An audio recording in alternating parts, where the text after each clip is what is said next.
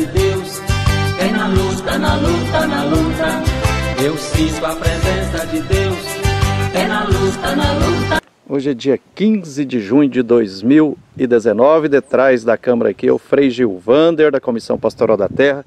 Estamos aqui em Minas Gerais, aqui em Santa Bárbara, pertinho de Barão de Cocais, aqui ao lado da comunidade do André do Mato Dentro. Maria Tereza Coruja, nossa querida Teca, né? Passamos a manhã inteira aqui visitando esse estrago ambiental que a mineradora Vale está fazendo aqui, né? Com autorização judicial. O que é preciso dizer para a sociedade, para as forças vivas e para as autoridades de Minas, do Brasil e do mundo sobre isso que está acontecendo aqui? É, Para nós, o que está acontecendo aqui é uma grave violação de direitos e um grave crime ambiental, mais um da empresa responsável pelo assassinato em Brumadinho. Por quê? A Vale entrou no dia 18, junto ao Judiciário, num plantão judicial, é, naquela semana... 18 de maio? 18 de maio, naquela semana de 19 a 25 de maio, em que se disse que de certeza ia romper o talude, que poderia romper a, batagem, a barragem, que foi aquele pânico, aquele terror, aquela crueldade com as pessoas dos Barão de Cocais. Barão de Cocais. E no dia 18 à tarde a Vale entrou com esse pedido de tutela de urgência, alegando que tinha que fazer uma obra aqui em André do Mato Dentro para evitar uma tragédia e uma calamidade pública.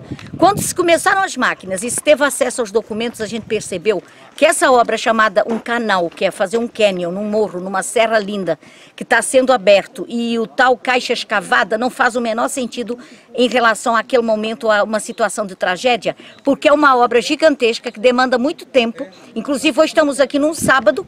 Se é uma obra tão emergencial para uma calamidade pública, como é que não está trabalhando? Embora a gente não queira que realmente isso aqui continue, nós estamos trabalhando muito para que se confirme que, na realidade, essa barragem sul superior, ela não está numa situação de risco iminente é, de ruptura e que provavelmente a Vale usou isso para conseguir duas grandes obras, que é essa e um muro a 6 quilômetros daqui, chamado Muro, mas que é uma grande obra, porque na realidade o que a Vale quer neste território é juntar um grande projeto chamado Apolo na Serra do Gandarela, que ela pretende licenciar, que está em curso o licenciamento, com outro projeto grande chamado Baú, que é do lado direito desse território, tendo ao norte a mina de Gongo Soco, onde é, ela pretende fazer então o escoamento desses dois grandes projetos minerários gigantescos, Apolo e Baú, usando a estrutura de Gongo Soco, e ela veio usando todo esse cenário para conseguir obras que provavelmente ela não conseguiria com licenciamentos é, comuns, porque aqui tem grandes valores ambientais, tem o Rio São João de classes especiais e essa obra está destruindo inclusive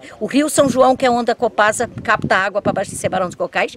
Aqui os, as comunidades estão sendo impactadas e a Vale vem é, chegando com a decisão do juiz para ocupar as propriedades, bem distantes inclusive dos dois lugares autorizados para fazer essas obras. Então o que está acontecendo aqui é muito violento e a gente quer dizer pare, pare, vale de destruir este território André do Mato Dentro e todos os lugares que você está destruindo em Minas Gerais.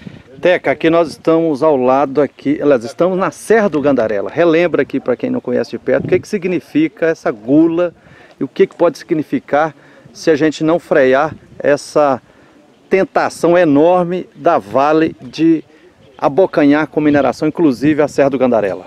É, dentro do quadrilátero, que nós chamamos aquífero e eles chamam ferrífero, o último território que está intacto de destruição da mineração se chama o Sinclinal Gandarela, que de um lado tem a Serra do Gandarela e do outro lado tem esse trecho do baú. Então, aqui estão os últimos aquíferos subterrâneos intactos e a mineração de ferro realmente ela ela impacta definitivamente irreversível essas águas. Então, esses três grandes projetos, que é a continuidade do Gongo Soco, a Polibaú, eles colocariam em risco uh, ao último trecho intacto de serras do território do quadrilátero e isso tem consequências terríveis porque é nessa água subterrânea que estão 80% das nossas águas. Nós já temos o rio Paraupeba morto, o rio Doce também eh, sem condições, então nós não podemos ficar num território que tem cerca de 4 milhões de pessoas sem o último território intacto com grandes aquíferos subterrâneos, grande biodiversidade e comunidades ainda com todo esse patrimônio cultural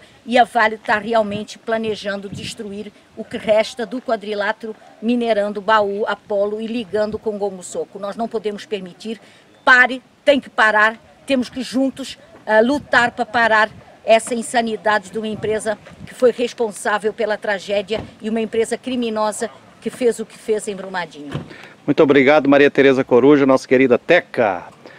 Pare essa mineração devastadora e vamos seguir na luta pela construção de uma sociedade do bem viver e do bem conviver, que passa necessariamente pelo máximo de preservação ambiental, por respeito à dignidade humana, à dignidade da Mãe Terra, à dignidade da Irmã Água, à dignidade dos peixes, dos animais e todos os passarinhos. Registrando aqui Frei Gil Vander, hoje dia 15 de junho de 2019, aqui nessa zona de sacrifício, a Mãe Terra assassinada aqui pela Vale com autorização do Estado, especificamente Poder Judiciário. Um abraço, Frei Gil Vander. Jesus Cristo, irmão, companheiro, seu exemplo deixou para nós. Vamos todos olhar para frente, ajudar muita gente sem vez e sem voz. Quando o povo encara é o Espírito Santo que age, vai dando coragem pra luta vencer. Eu sinto a presença de Deus, é na luta, na luta, na luta.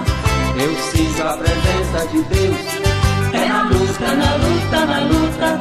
Quando o povo está reunido, exigindo os direitos que tem, vão formando a comunidade na grande mangade na busca do bem.